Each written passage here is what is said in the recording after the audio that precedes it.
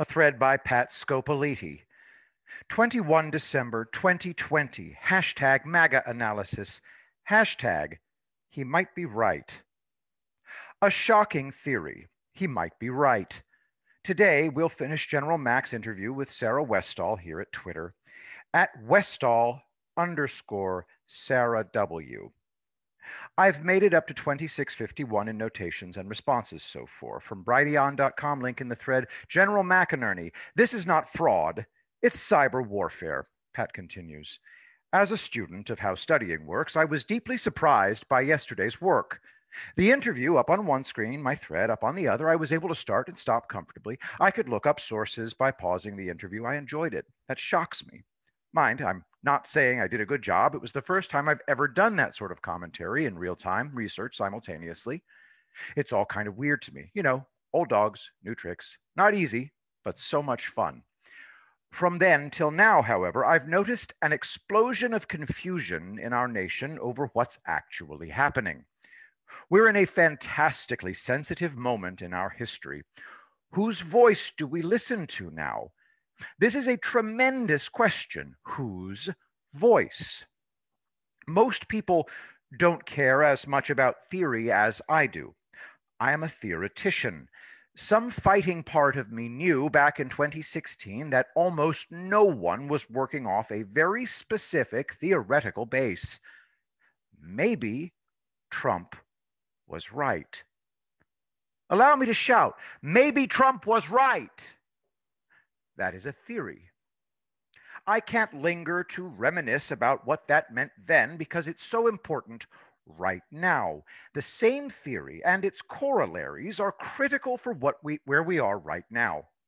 There's a somewhat surprising additional concept underlying my theory. Respect. Before I was able to surrender to my desire to support Trump, I had to complete my research. So I reread The Art of the Deal, more on that another time, and then ordered every book he'd written. Funny thing, before that, I didn't even know he was a best selling author. So let me ask how many of Trump's books have you read? Don't take that as a challenge, please. I only ask in order to illustrate how my theory works. If you joined me in my theory, you'd buy a Trump book and then ask, what if maybe Trump was right? Having employed this theory since 2016, I can tell you that even for me, I am a gigantic Trump supporter, obviously. The answer to the question does not always come out yes. Trump was far from always right. I have many major disagreements with my leader. What I don't do is publicize my disagreements. I don't attack the man whom I support. It was obvious to me that he had plenty enough attackers. He had no need for my additional input to those attacks. My hope was always to be a friend, a true friend.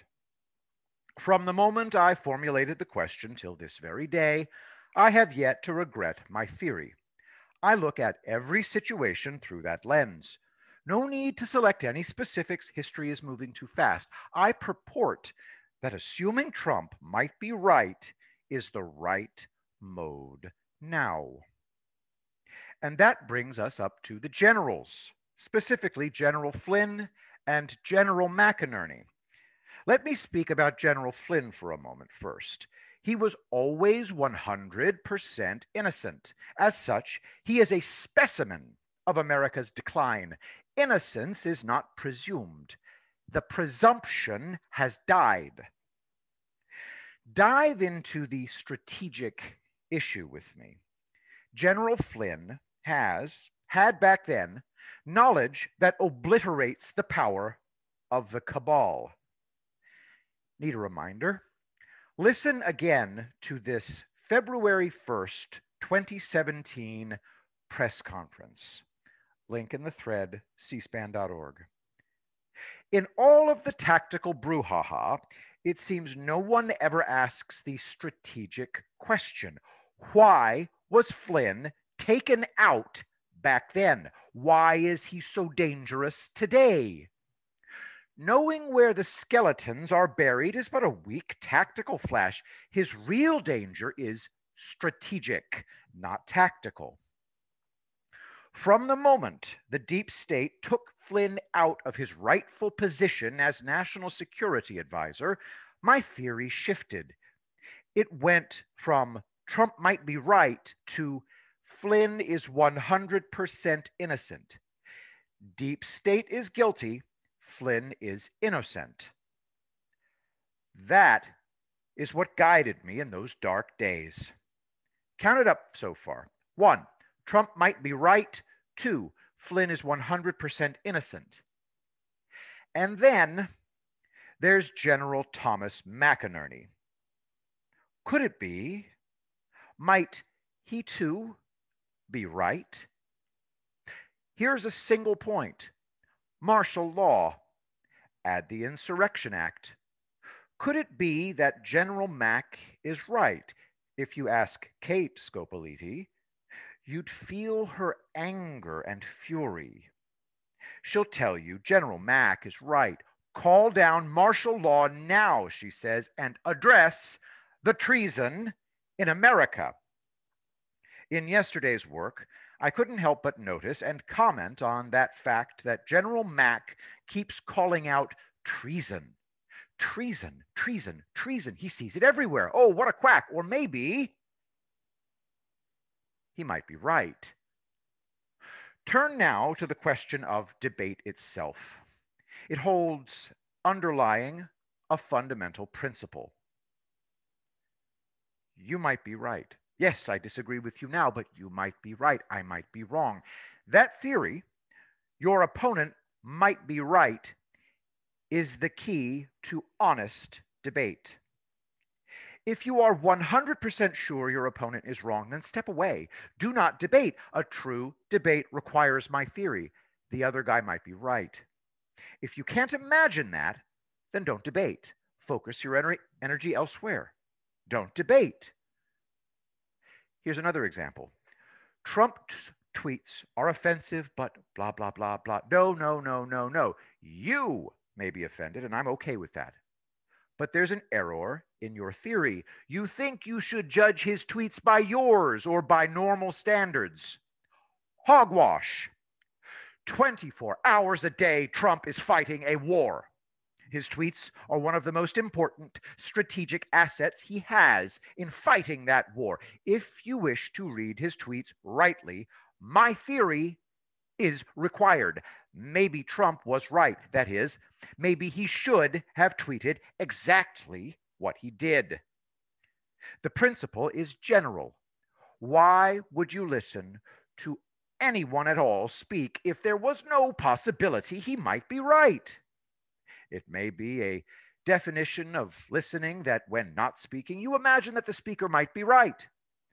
I'm of this hard school. Let me illustrate.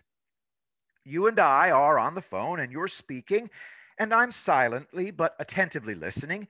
You may be assured I'm imagining that you might be right. If I cannot imagine that, I'll interrupt you and I'll tell you, I can't hear you right now. You're not cutting through. So I propose that the very act of listening itself demands the presumption of possible rightness. I like that. The presumption of possible rightness. If there is no such presumption, why listen at all? Or why pretend to listen when you're not? As we turn back to finishing General Mack's interview, it is precisely that assumption, the presumption that he might be right, which must guide us. Let me say it at the big picture level. General McInerney might be right. Our corrupted government might require all the steps we've logged from his guidance in order to restore America's governing integrity. He might be right.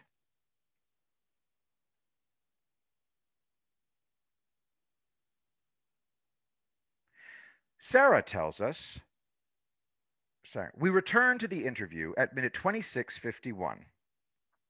suspend the Electoral College and the inaugural date. Why? The founding fathers could not have imagined cyber warfare against us from within. It shall not stand. Sarah Westall tells us that this election's data was a landslide beyond the presidency, turning the House back and strengthening the Senate as well. This was a fixed election across the boards. Quote, I don't believe the current actions the president is on are severe enough. The path I've outlined shows the American people that we mean business and we'll get to the bottom of this. End quote. There. That's the point. It's a lost principle. Truth and justice often demand severity of execution. Anything less conveys equivocation. General Mack might be right. That theory is simply critical. He might be right. We cannot afford to accept this. And the advisors must not counsel to come back in 2024. It won't happen. Take these serious steps. The support of the American people is behind this. Martial law is the real answer. It has to be this severe if we're going to get control and expose all these things to the American people. He will save this nation. They're going to call him a dictator, but he has the tools and must use them. Our enemies, China, Russia, Iran, are all delighted with the current election. Our internal censorship feeds our enemies' desires. The current situation is a color revolution. This censorship means totalitarianism. All this must be disallowed by us, the American people. Our president must change this. The courts will not uphold Trump, state or federal. What about the support around Trump? None of the DC leaders are giving Trump the support he needs. So we must rise up for Trump ourselves. Letters, emails, all our social media. We must support Trump in the steps that General Mack has outlined. This treason must be stopped, and all the steps listed must be taken. Treason must be disallowed. Rise up. America. Sarah now lays out her brilliant set of three options. You are either one, a traitor, two, a coward, or three, a patriot. You have to make a decision. General Mack writes this down. That's the choice. The best way to move forward is to send messages to White House, senators, and House members. What about the corrupted Supreme Court? That's the reason military tribunals are required. Are they traitors, cowards, or patriots? It's time to stand up. Where should people go to learn more? The Citizens Commission on National Security, ccnationalsecurity.org. What might General Mack be right about? We've listed 10 steps he urges with bold strength. We've walked through all the logic behind them. We'll conclude by listing out the 10 steps again. And I'm asking, can you consider he might be right? I sure am. General Mack's 10 steps during an interview concerning voter fraud and cyber warfare during the election. Two, he called on President Trump to declare a national emergency. Three, use the Insurrection Act. Four, declare martial law. Five, suspend habeas corpus. Six, set up military tribunals. Seven, suspend the Electoral College vote for president and vice president on December 14th and the presidential inauguration on January 20th. Eight, claiming the 2020 presidential election is being stolen from Trump. And nine, treasonous parties should be arrested and charged. And 10, a full investigation must be done by President Trump. But can America make the tough call? Do we have the moral fiber to do what it takes? Perhaps this can get done with nicer means. Maybe General Mack's counsel is more stringent than these times require. But if we fail to hear him, and we look back one day saying, he was right after all, then well, maybe we should consider that right now. Maybe he's right. I will be the greatest president that God ever created.